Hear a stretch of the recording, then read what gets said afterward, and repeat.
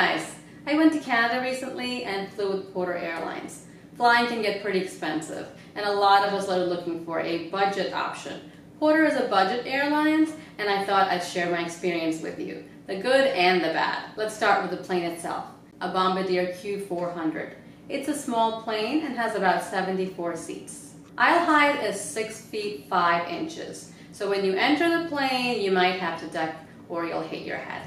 Porter flies to several locations within Canada and to New York, Boston, Chicago, Washington DC, and Pittsburgh. It also offers seasonal flights to Connecticut. Connecticut, they don't go to Connecticut. They go to um, Vermont, South Carolina, and Florida. Billy Bishop Airport in Toronto is Porter's home base.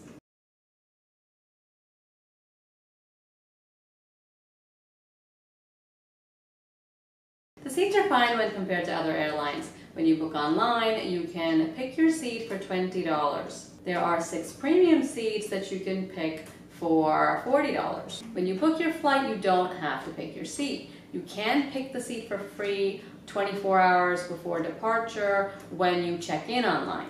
As for baggage, you're allowed one carry-on bag and one personal article. The maximum weight for each is 20 pounds. And here are the measurements. With a US passport, you could do the online check-in, but with international passports, you might have to actually go to the counter. I did go to the counter to check in a bag, and the lines were really quick, it was very smooth, so check-in is pretty efficient.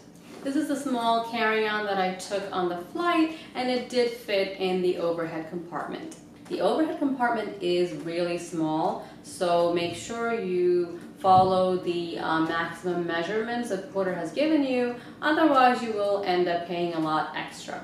My friend took a bag that was slightly over the maximum measurements and she ended up paying $47.50 right when she boarded because the um, baggage would not fit in the overhead compartment. If you know you have a bag that's going to be checked in, just pay for that bag online when you book your flight the cost is going to be $27.50. Now, if you do that when you check in at the counter at the airport, it's going to be about $10 more. And then if you forget and you or you exceed the measurements and you have to do it right when you board, it's going to be $47.50. For the next flight, my friend was smart enough to get a smaller carry-on this is the um, American Tourister carry-on. It's designed to fit all these budget airlines overhead compartments. What I'm gonna do is put up a separate review for this piece of luggage because it's really useful. So don't forget to subscribe and stay tuned for that review.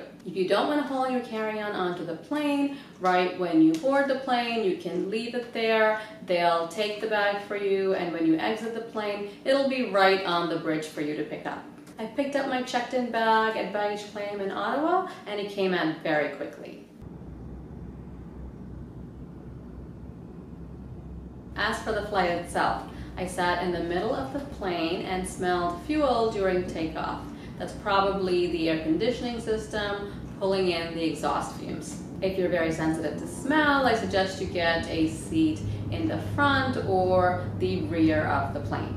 You might also hear some rattling and strange noises throughout the flight, but I didn't feel too much vibration um, during the flight.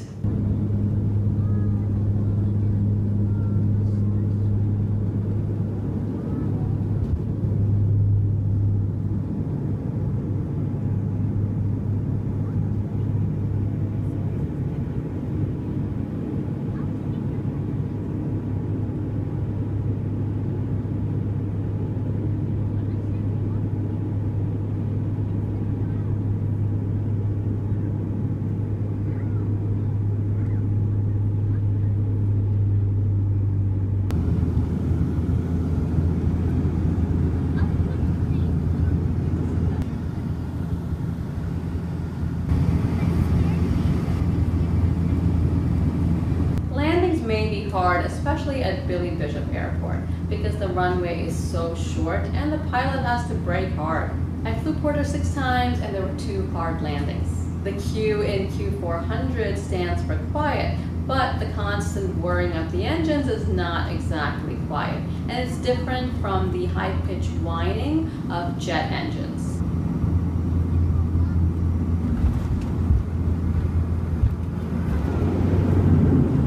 Ladies and gentlemen, Porter welcomes you. Please remain seated with your seatbelt securely fastened and cabin baggage secured until the aircraft has reached a final stop and the captain has A couple of us flew to Ottawa from Newark Airport and we landed in Toronto, then took a connecting flight to Ottawa. On our return flight, the flight from Ottawa to Toronto was delayed. When we landed in Toronto, um, there was a porter guy at the airport who told us to wait and our next flight will be announced in some time because we were delayed. So we thought we had plenty of time. We were in the restroom and about a minute later, while in the restroom, we hear all of our names over the PA that it's final boarding, that we pretty much have to get on the plane now. Um, there were a lot of people running out of the restroom at that point and uh, we did make it. But um, customer service is generally great, except for this one porter guy at um, Toronto Airport. While I'm on the subject of restrooms, the fasten seatbelt sign was on pretty much the whole flight during all six flights that I took. And there were people who needed to go to the restroom, but they were not allowed to. So I would suggest you plan ahead. When I flew to Ottawa, I was offered a seat on an earlier flight for free since they were not full. So the next time I flew, um, I was flying from Newark to Toronto. I said, let me just get there early. Maybe I would get a um, earlier flight, which would save me some time.